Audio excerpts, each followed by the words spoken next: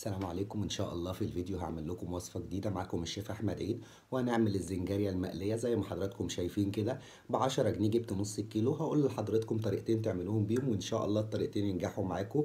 ونبدأ ونشوف أول حاجة مع بعض المكونات. اللي نبتديها بالتوابل زي ما واضح كمون شطة فلفل أسود ملح كزبرة ناشفة ونص كيلو سمك زنجارية مغسول كويس. السمك مش بسارية زنجارية اللي هو بمنقار. يختلف عن البسارية سعر الكيلو منه أقل من 30 جنيه. بستخدم معاه كوباية دقيق. والطريقة الأولى اللي أنا هستخدمها هحط التوابل كلها مع بعض وأقلبهم وبعدين أحطهم على السمك وأنقعه لمدة عشر دقايق قبل ما أرجع أحطه في الدقيق. الطريقة التانية إن أنا بحطه في الدقيق وبعد كده برش عليه التتبيلة اللي أنا حطيتها على السمك دلوقتي.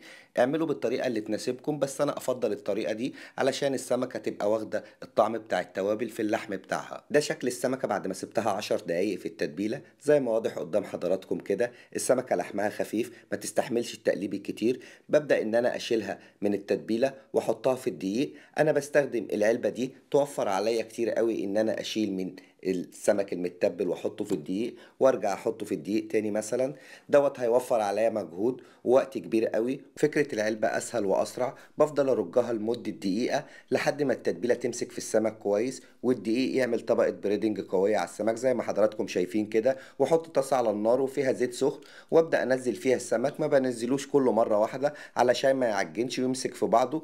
بنزل شوية بشوية لحد ما الطاسة تتملي معايا بتكون النار عالية على الآخر. ما بقلبش السمك خالص أثناء القلي هو يا دوب بطرف المعلقة بحاول ان أنا أفرقه عن بعض لحد ما يستوي ويوصل للشكل اللي حضراتكم شايفينه ده. ما ينفعش إن إحنا نتبل السمك بالدقيق ونسيبه لازم نقليه على طول علشان السمك هيتشرب الدقيق. ولا ينفع يتقلي على النار هادية علشان ما يشربش زيت ويتهري. وبكده نكون وصلنا لنهاية الفيديو والوصفة اللي كانت معانا سمك الزنجارية المقلية بأقل من 20 جنيه. عملنا وجبة غدا. شكرا لمتابعتكم. كان معاكم شيف أحمد عيد. وتقدروا تتابعوا شغلي والوصفات السابقة على ال group الخاص بيا وعلى قناة اليوتيوب. اعملوا like و comment وقولوا رأيكم في الوصفة. شكرا للمتابعة. سلام عليكم.